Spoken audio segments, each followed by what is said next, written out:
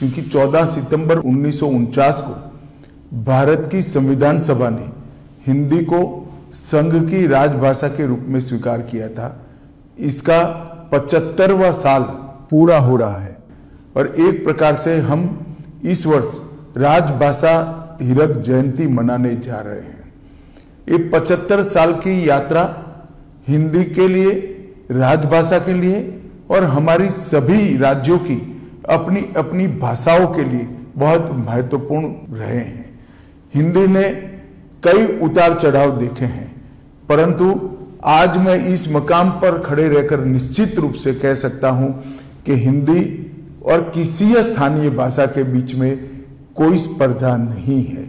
हिंदी एक प्रकार से सभी स्थानीय भाषाओं की सखी है, एक दूसरे के दो पूरक है, चाहे गुजराती हो, मराठी हो तेलुगु हो, मलयालम हो, तमिल हो या बांग्ला हो, हर भाषा हिंदी को मजबूती देती है, हिंदी हर भाषा को मजबूती देती है।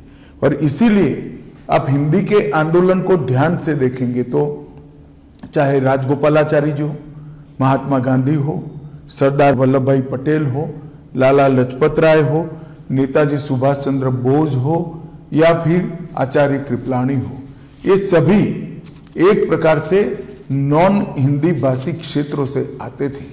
और जो समिति बनाई गई वो समिति भी श्री आयंगर और के एम मुंशी के नेतृत्व में बनाई गई थी जिसने ए, हिंदी को राजभाषा के रूप में मान्यता देना और हिंदी और हमारी बाकी सारी भाषाओं को ताकत देने का एक रिपोर्ट हमारी संविधान सभा के सामने रखा था।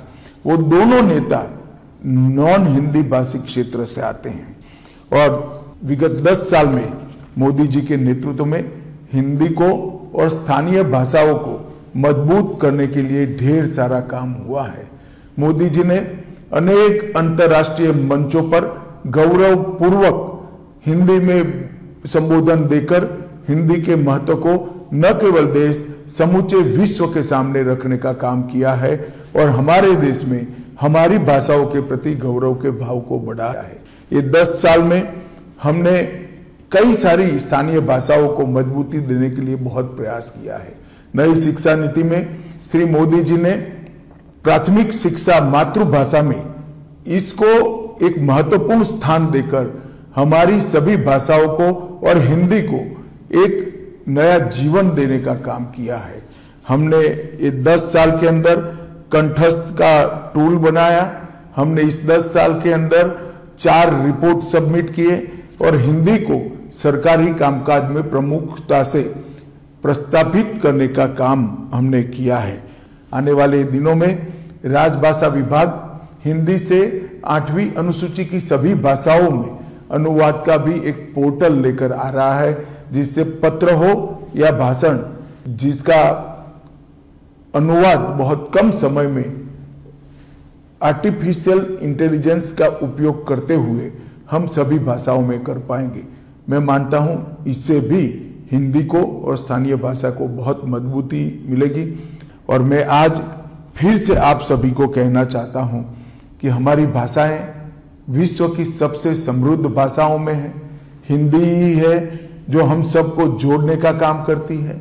हमारी सब भाषाओं को जोड़ने का काम करती है और संविधान सभा की जो स्पिरिट थी कि एक स्वदेशी भाषा में सभी देश के नागरिक एक दूसरे के साथ संवाद करें, चाहे हिंदी हो, तमिल हो, तेलुगु हो, गुजराती हो। हिंदी को मज़बूत करने से इस सभी भाषाओं में एक प्रकार का लचीलापन भी आएगा, समृद्धि भी आएगी और एक समाहितता के संस्कार के साथ सभी भाषाएँ हमारे संस्कृति, इतिहास, साहित्य, व्याकरण और हमारे बच्चों के संस्कार को भी आगे बढ़ाएगी। अतः मैं सभी देशवासियों को अपील करना चाहता हूँ कि हिंदी दिन पर आइए हम संकल्प करें, हिंदी को मज़बूत करें, हिंदी के साथ साथ हमारी स्थानीय भाषा को भी मज़बूत करे और राजभाषा विभाग का जो ये काम है, ये काम को आपका समर्थन करिए। फिर से एक बार आप सभी को हिंदी दिन की बहुत बहुत शुभकामनाएँ। आइए, हम राजभाषा को मज़बूत करें। वंदे मातरम।